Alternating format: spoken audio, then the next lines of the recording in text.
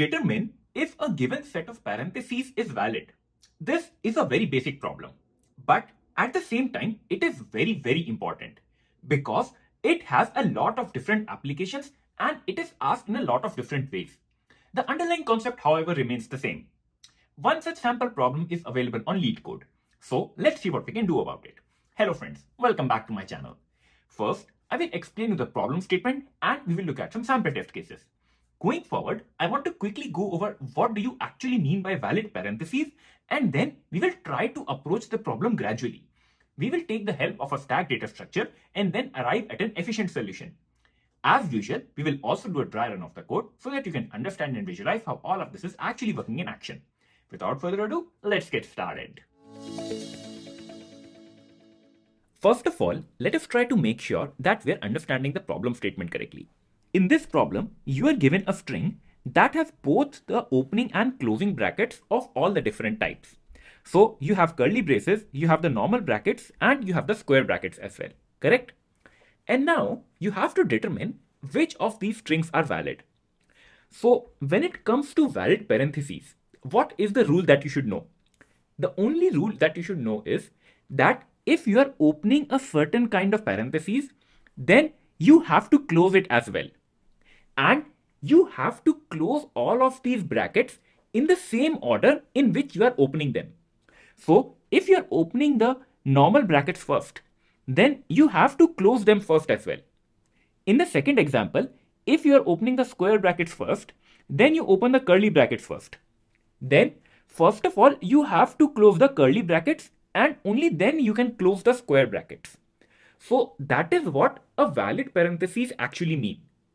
So in this problem, let us say you have these sample test cases. For the first test case, you can see that we open a normal bracket and we close it. So I can say that for the first test case, this string is valid and I will return a true, correct? If you look at the second test case now, I open a square bracket first and then I open a curly bracket. After that, if you check, I close my curly bracket as well. So, so far so good. Move ahead now. I open a normal parentheses and then I close it as well.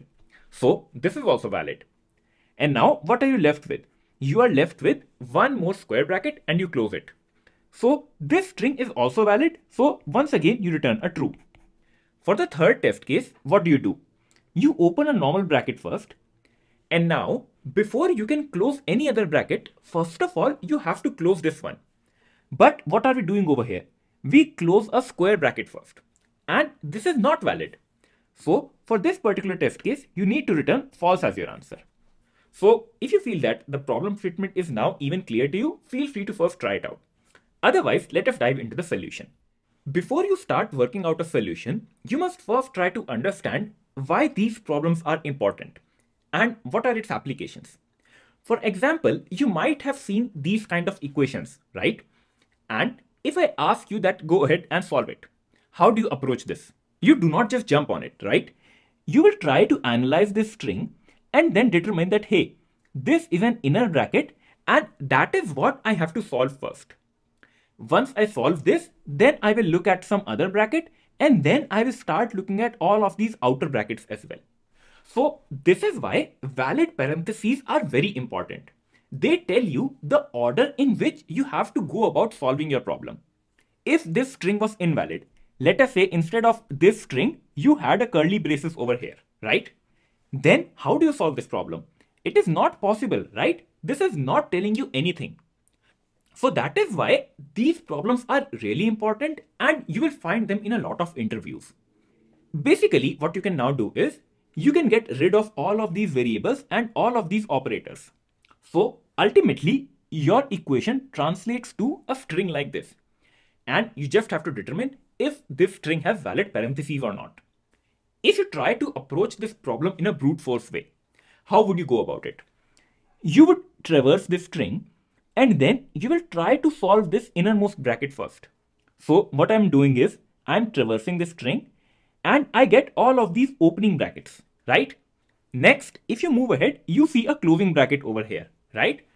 And now you go back and check, hey, where did I find the opening bracket? You found it over here. So you know that, okay, this is the portion that I have to solve. So for a brute force approach, you will start to move from the front until you get a closing bracket. As soon as you get a closing bracket, you move backward and try to find an opening bracket. You found this pair, right? So you will remove it from your string. And now your problem becomes this. You got rid of one set of brackets. Once again, you will do the same approach, right? You will start to look ahead and then you will find a closing bracket once again. You go back to see, hey, where is my opening bracket? You found this and then once again, you will eliminate this set of brackets. So now you get this string. You will keep on doing this ahead and ultimately if all brackets are gone, yes, this string was valid. Otherwise, you will have one or the other dangling brackets and that is how you can say that, hey, this string is not valid. So this is a brute force approach and it will work every time. But you will end up taking a lot of time just to analyze your string again and again, correct? So definitely it can be done in a better way. If you try to notice, when you are traversing your string and as soon as you find a closing bracket, what do you look for? You look for the opening bracket, right? So you will look for the most recent bracket that you had encountered. And that gives you a hint. What does that mean? It means the last character you just encountered. That is last in, first out. And it gives you the hint of a stack data structure. If you're new to stack data structures, I would highly recommend you to pause this video and look at my introductory video on stacks first. But if you're aware with them, let us move ahead and take advantage of the stack data structure to come up with a very efficient solution. Okay, so now I have a stack data structure and I have the same string with me. You have to determine if this string has valid parentheses or not. One way to approach this problem will be that you start traversing this string from the beginning. And what is the first character that you get? You get an opening bracket, right? So if your string has to be valid, and if you get a opening square bracket, then definitely you will want a closing square bracket as well, correct? So what you do is, as soon as you get an opening square bracket, just add a closing square bracket to your stack. And now move ahead. Now you get an opening curly bracket. And if your string has to be valid, then there should be one closing curly bracket as well, correct? So I will add a closing curly bracket to my stack as well. Just wait for it a little while and all of it will make sense to you. Now move ahead. What do you see? You see a normal opening bracket over here, right? And for your string to be valid, you should have a closing normal bracket also, right? And if you notice, what are we doing over here? We got all of these brackets in this order, right? And in our stack, I am storing this order. I'm preserving this order. So what happens next? I see a closing bracket this time. As soon as you see a closing bracket, you need to search, hey, do I have opening brackets for it? Now look in your stack. If you pop an element, what do you find? You find a closing bracket. That means there was one opening bracket as well, right? So it simply means that this set has been taken care of. So what I will do is I will just remove this element from my stack. And now just move ahead once again. You see a opening square bracket. An opening square bracket means there has to be a closing square bracket also. So just add it to the stack. So basically, if you're getting any opening bracket, just add its reverse closing bracket to the stack. And now you have a closing bracket. As soon as you see a closing bracket, just look at the top element in your stack. The top element is the same, it means that, hey, I was able to find a pair. So once again, just remove this. Now move ahead. What is the next element? It is a closing curly bracket. Look in your stack. You have your closing curly bracket over here.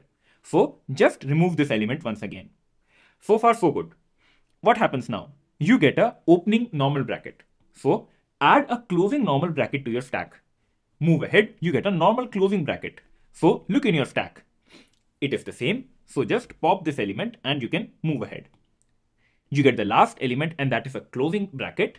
And if you look in your stack, you have the closing square bracket as well. They both are same, so you simply remove it from the stack. If you notice, you have traversed the entire string and your stack is also empty. That means all of the brackets were taken care of.